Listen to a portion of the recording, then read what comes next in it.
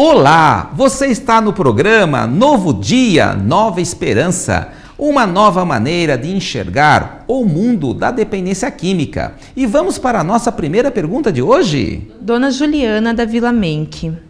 Meu marido sofre de gastrite. Vai ao médico, faz tratamento, mas a dor do estômago sempre volta. Na verdade, ele mente para o médico, porque fala da dor de estômago, mas não diz que ele bebe todo dia cerveja e cachaça. O que eu posso fazer? Ô, dona, dona Juliana, né? Muito obrigado pela sua pergunta. Olha, a senhora foi corajosa, viu? E sabe que esse problema que a senhora está tendo na sua casa é extremamente comum? Nós, nós conhecemos muitos casos de pessoas que vivem com dor de estômago, da gastrite e até úlcera.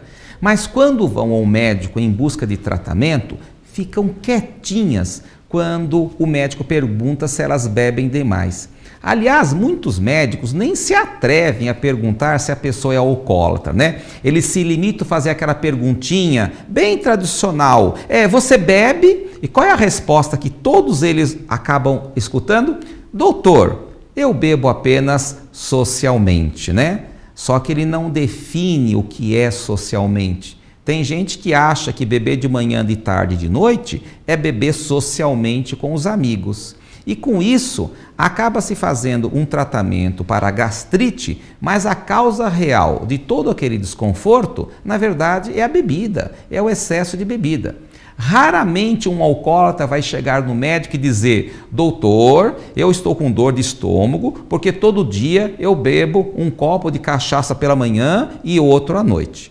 Sendo assim, dona Juliana, eu posso sugerir que da próxima vez que o seu marido for ao médico, faz diferente, vai junto com ele.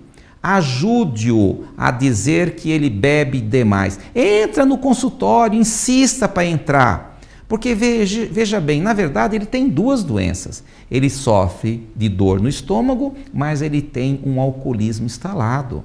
Eu acho que estarmos casados com alguém é ser é, é esse parceiro.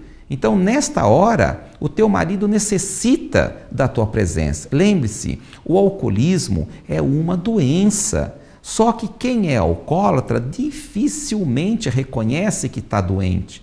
Ele precisa da insistência da família, lembrando sempre de que ele tem um problema.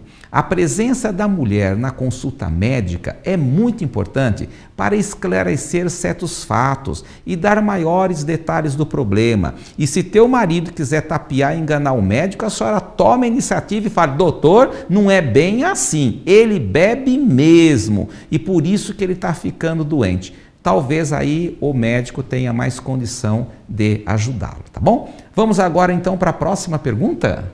Dona Ana Cristina de Jandira. Por que é difícil fazer uma pessoa parar de beber?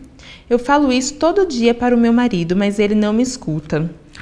Dona Ana Cristina, muito obrigado pela sua pergunta. Olha, eu aprendi na vida uma coisa muito importante: que nós, seres humanos, não temos o poder para mudar o outro. Muitas vezes eu gostaria que o outro se modificasse, que ele parasse de beber, que ele parasse de usar droga mas nós não conseguimos. Nós não temos o poder de mudar o outro. Nós só podemos mudar a nós. Se eu quero que algo mude no outro, eu é que tenho que me modificar. Mas sabe que tem gente que pensa diferente.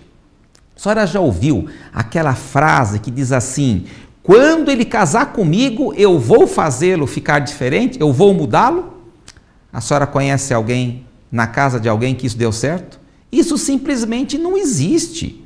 Nós temos o hábito de casar com as pessoas olhando as virtudes e depois acabamos brigando e nos separando por causa dos defeitos. Talvez fosse mais interessante na próxima vez a gente casar com alguém olhando primeiro os defeitos, né? Pelo menos você se entende com o outro.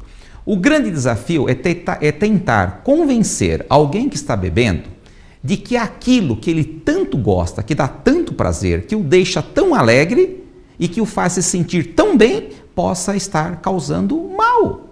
Simplesmente o alcoólatra ou o alcoolista, ele não consegue enxergar a dor e a frustração da esposa. Ele não consegue enxergar que os filhos estão com medo dele, a angústia que ele gera quando chega em casa, toda vez que ele chega embriagado. Olha, o alcoólatra, ele deixa cicatrizes profundas em toda a família. Quando o indivíduo está na bebida, ele não consegue ver o problema do álcool. O seu marido está naquela fase que nós chamamos de negação da doença. Lembre-se disso, fase da negação. Ou seja, ele não quer admitir o problema, ou por medo, ou por culpa, ou vergonha. E quebrar essa negação é a primeira parte, talvez a parte mais importante desse longo processo de recuperação que é o, alcoolismo, né? Recuperação do alcoolismo. E como é que a gente quebra a negação? Como é, gente, como é, que a gente consegue fazer o outro enxergar que a bebida é um problema na vida dele? Olha, a negação ela é quebrada quando o alcoólatra começa a enfrentar os problemas decorrentes da bebida. E para isso é muito importante a ajuda da família.